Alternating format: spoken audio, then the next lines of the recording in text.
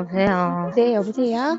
네, 누구시세요? 예, 저, 저번 저한테 또 강경현 기자예요. 언제요? 어제요.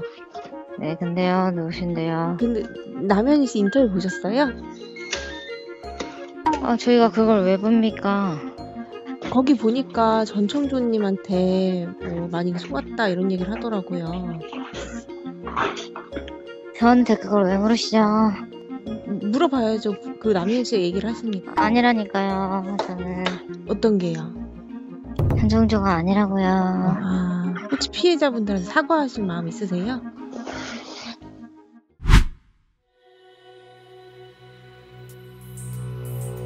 줄을 좀 줍시다. 일단 끊는 걸 보겠다. 박준수 씨, 템포지션에 신경 한 말씀 부탁드리겠습니다. 나오세요. 길을 좀짧 도와주세요. 네. 기자님들 좀 도와주십시오. 네. 씨 신경 한 말씀 도와주세요. 좀 지나가겠습니다. 네.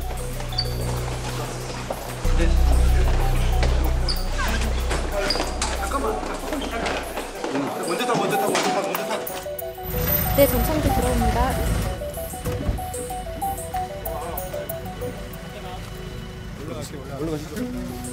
사기혐의 인정하십니까? 남현희 씨랑 수익금 나눴다고 하셨는데 남 씨도 범행에 가담한 게 맞습니까? 남현희 씨도 사기 범행 알고 있었나요?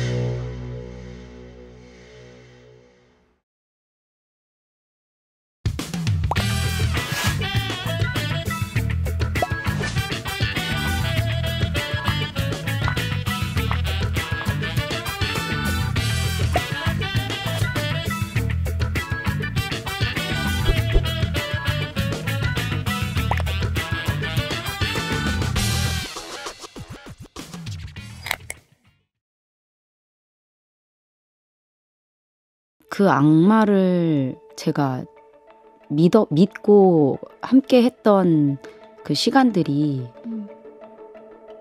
저 또한 어떻게 이럴 수가 있지? 생각해보니 최종 목표가 저였을 것 같아요. 펜싱에 도움이 되는 사람이 되고 싶었는데 정말 죄송하게 생각해요.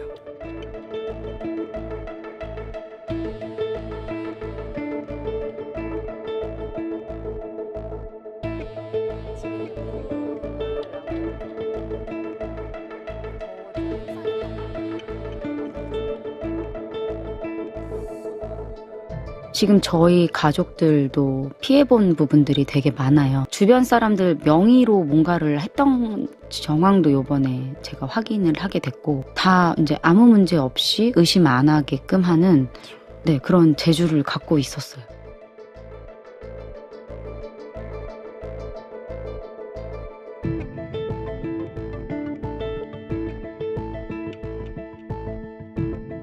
제 얼굴과 이름이 필요했던 것 같고요. 그 사업은 상위 0.01%의 고위층을 대, 자, 자녀들을 음. 대상으로 하는 펜싱 사업이기 때문에 100억 시그니엘 집을 제 명의로 해준다고 해서 예. 차도 예. 고가의 차를 차, 타야지 엄마들 사이에서 말이 안 나온대요. SNS에 올린 건 남현희 감독님 네, 기사예요. 왜냐면 제가 안 올리니까 예. 왜안 올리냐고. 어, 좀 올리라고. 그 선물은 지금은 다 가지고 계세요. 네, 지금 가지고 있는데요. 전부 다 저는 돌려주고 싶어요.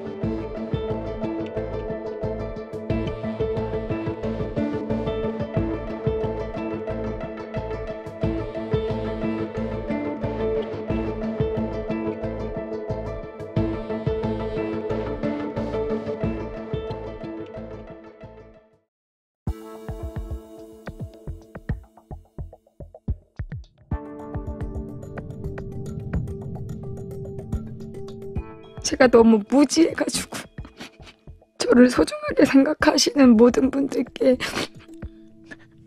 너무 걱정 끼쳐드려서 죄송합니다. 아,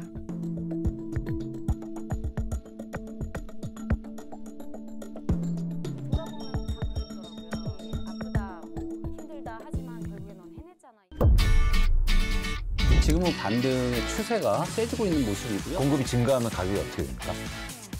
읽을수록 똑똑해지는 지식 뉴스. 스브스 프리미엄 스프.